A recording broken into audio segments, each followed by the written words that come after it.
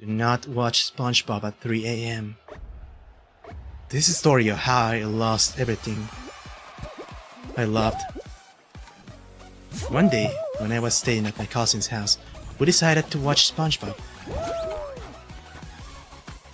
But not just any SpongeBob, we watched the Halloween special episode. I remember because it was Halloween. And my pants were sweaty because summer sucks. Patrick showed on the screen, but he was oddly hyper-realistic.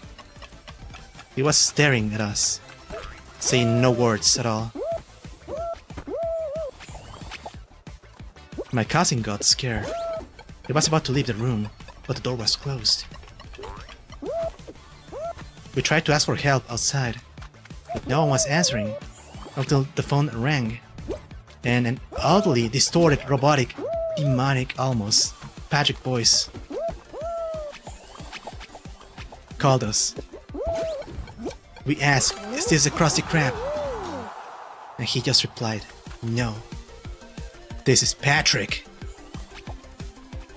And then he killed us. The end.